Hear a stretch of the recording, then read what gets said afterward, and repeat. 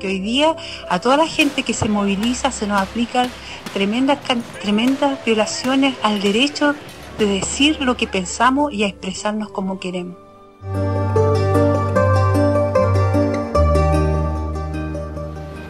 La esperanza de un mundo mejor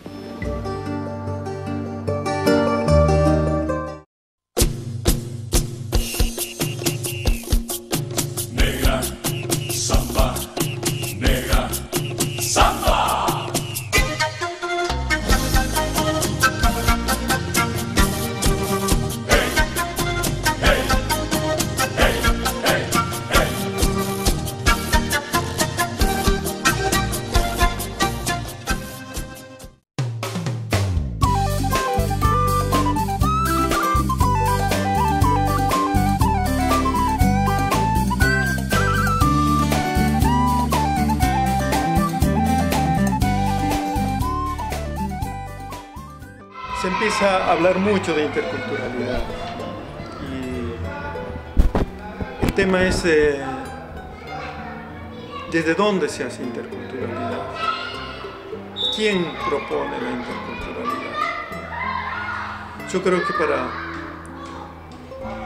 que se dé la interculturalidad tiene que haber previamente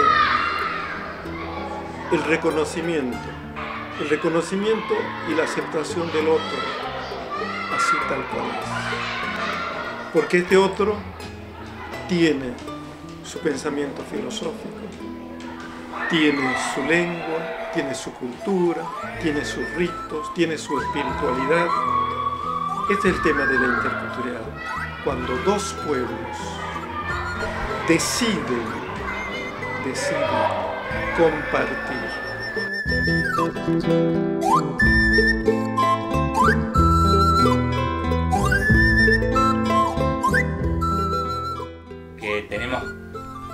un compromiso los docentes de empezar a reflexionar sobre cómo se conforma nuestra sociedad.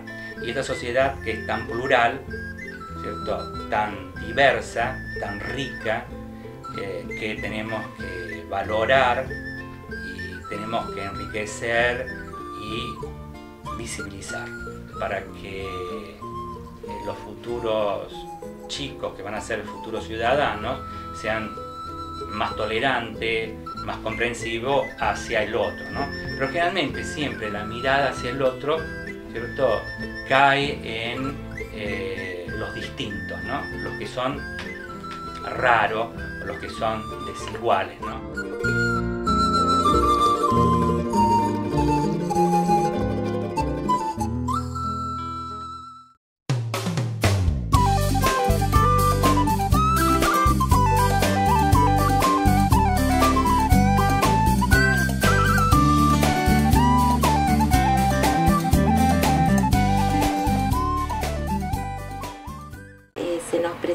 Este, que la comunidad de la escuela este, comenzó a cambiar, este, eh, hubo incrementa, eh, se empezó a incrementar la matrícula, eh, donde llegó un momento que el porcentaje de los alumnos bolivianos estaban un poquito era mayor que, otros años anteriores. Por supuesto que tuvimos que ahí sí repensar nuestras prácticas diarias este, para, eh, bueno, para que esto sea este, para incluir a todos los alumnos, eh, respetando desde lo diverso, eh, conociendo y respetando, porque sí había en el barrio mucha este, y en los lugares cercanos discriminación, por supuesto que en la escuela también a veces este, le hacían chistes, pero eran chistes que tenían que ver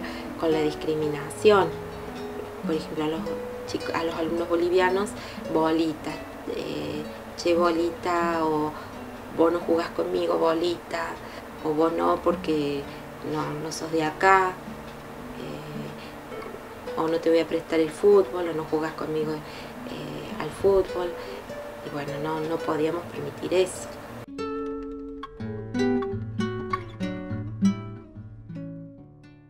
Bueno, y acá estaba en la escuela sola, era personal único. Eh, con muchas alumnas para alfabetizar y me encontré con que, bueno, estas alumnas hablaban quechua, eh, algunas guaraní, que eran alumnas de Paraguay, y otras eran de Bolivia que también hablaban guaraní. Eso me sorprendió, yo no sabía que en Bolivia se hablaba guaraní. Y bueno, y había que aprender a, leer y escribir. Y empecé a notar algunas, algunos inconvenientes, como por ejemplo con la enseñanza de las vocales, y, empecé a buscar ayuda. En ese tiempo nos empezó a acompañar en la escuela una, una docente del ICA, con una figura que era como de apoyo intercultural. Ella era Silvia Vilca y, hacíamos como un espacio de taller donde se hablaba en quechua. Eh, entonces, así como eh, las alumnas que hablaban quechua aprendían algo en castellano, aprendían a escribir algunas palabras, el resto de las alumnas también aprendíamos quechua, la seño aprendía algunas palabras. Y, bueno, se convierte esas clases de lengua en un intercambio las alumnas de primer ciclo, que a veces venían solamente con el quechua, bueno, hablaban porque era la lengua que manejaban. Las alumnas de segundo ciclo, que ya tenían como otro trayecto educativo y que habían podido aprender el español, escondían eso. Entonces fue todo un trabajo también de que no sintieran vergüenza.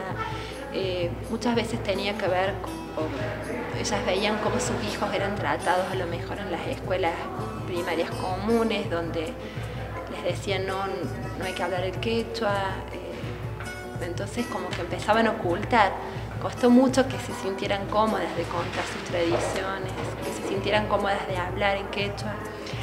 Ayudó mucho que mi compañera la saludara en quechua. Eh, se empezaron a sentir cómodas, como que acá se podía hablar, se podía contar, pero fue también todo un proceso y aspiran todos a que sus hijos este, estudien, cuando se les hicieron una tarea, un trabajo muy lindo en primer grado un día. Y entonces, bueno, ¿qué, qué esperaban o cómo veían a sus hijos? Entonces tenían que hacer a su hijo y hacerlo con, me acuerdo, con, este, con lo que... Eh, eh, la, vestimenta con, lo con la profesión que ellos querían o se imaginaban. Entonces, este, unos decían maestros y la hacían con el guardapolvo blanco, como, como ellos eh, tenían la imagen. Eh, la mayoría médicos, eh, que querían que sus hijos fueran médicos, y, los otros eran que terminaran la secundaria. En ese espacio, además de aprender a leer y escribir, la idea aprender también otros, otros saberes, ¿no? Entonces empezamos a participar como escuela de algunas fiestas que eran importantes para los vecinos. Y desde ese año se empezó a organizar, bueno, en agosto la ceremonia de la Pachamama, en junio participamos del Inti Raimi. Y, lo que fue pasando en realidad es que fuimos, fui aprendiendo un montón yo de, mis alumnas de, de los pueblos originarios bueno, y tratando de que las alumnas también tuvieran algo de lo que venían a buscar en la escuela.